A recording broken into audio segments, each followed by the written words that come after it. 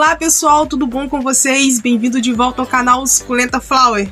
E hoje o assunto é torta de mamona para as nossas suculentas. Será que tem alguma diferença? Será que ajuda mesmo? Será que é um bom adubo?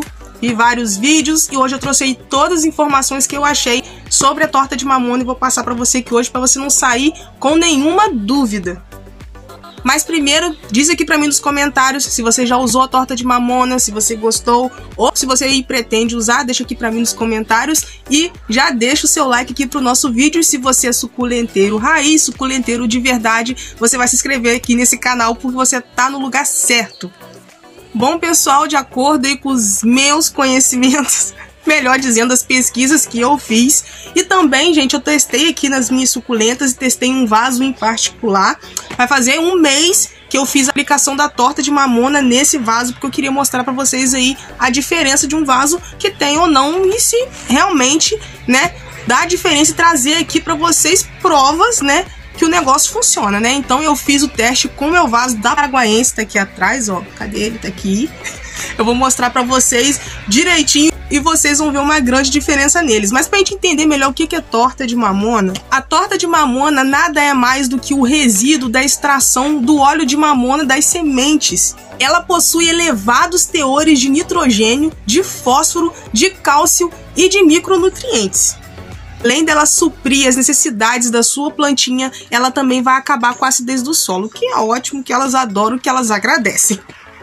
A liberação de nitrogênio também não é tão rápida na torta de mamona perto dos adubos químicos, mas também ela não é tão lenta quanto os estercos e o humus de minhoca. Então, ela tá aí no meio, tá aí na média e ajuda bastante como adubo aí das nossas plantinhas. E informação importante: se aí no seu jardim dá muita nematóide, usa torta de mamona nesse chão. Porque isso aqui é inseticida e nematicida. Onde tem isso aqui não tem nematóide. Quando você for replantar sua suculenta, mistura a torta de mamona que vai dar super certo e nematóide não vai ter vez aí na sua varanda. Mas claro, né, gente, além de todos os benefícios, nós temos que ter cuidado porque a torta de mamona é sim natural, mas ela é tóxica, principalmente se ela for misturada à farinha de osso.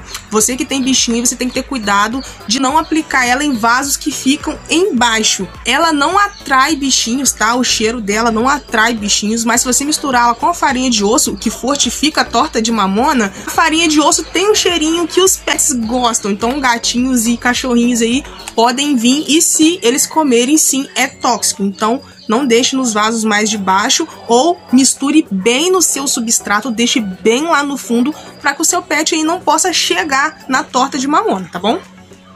E para você que tem suculentas ao tempo, no sol pleno, você tem que ter essa aliada aqui do seu lado. Porque a quantidade de fósforo que tem nesse produto aqui, gente, fortalece o caule, fortalece a raiz, deixa elas mais rígidas. E esse produtinho aqui vai te ajudar e muito nas suas suculentas que ficam no sol pleno, que ficam ao tempo, tipo as minhas aqui. Então, por isso que eu comprei e quis fazer esse teste.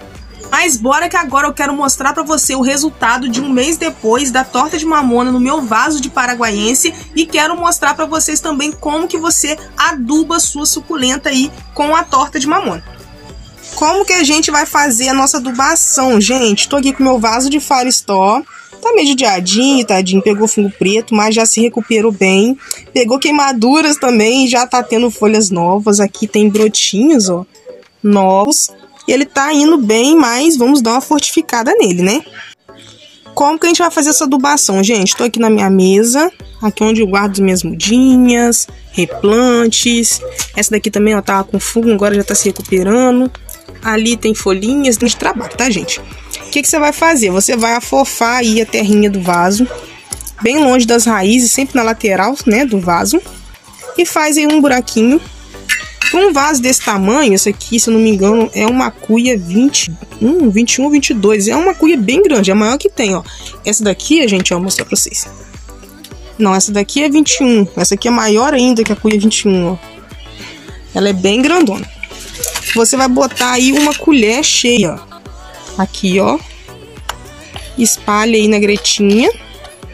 E tampa, gente. Sempre tampa. Não pode deixar aparecendo. Pega o substrato, aqui ó, tá vendo? Tá, aqui tá. E aqui a gente vai tampar direitinho, deixa bem tampadinho E põe sempre ao redor do vaso todo, gente, ó. Fazer uma gretinha aqui também. Vou pegar mais uma colher de sopa, tá, gente? Vou botar um cadinho aqui. Eu ponho no olho, tá, gente? Mas um vaso bem grande aí, no máximo duas colheres de sopa já é o suficiente, tá, pessoal? E agora você rega o seu vaso para que esse substrato se junte com o de mamona. Mais fácil ainda, gente, é quando você está replantando o vaso, quando chega uma mudinha nova e você já coloca a torta de mamona no substrato, que foi o que eu fiz aqui com essas, ó. Essas aqui me chegaram tem uma semana, essa Runione São Carlos, essa daqui também eu já já está com a torta de mamona, porque eu já misturei no substrato, tá? Mas quem que já tá com torta de mamona? Ah, que é Fred Ives. Esse aqui é um bebê de Fred Ives e eu já replantei com substrato com torta de mamona. Então é bem mais fácil assim do que fazer desse jeito, mas quando o vasinho pronto, você faz dessa maneira. Coloca ao redor, longe das raízes e se sempre de aguar a sua plantinha para que o substrato se junte aí com a torta de mamona ou com adubo, né, que você estiver utilizando.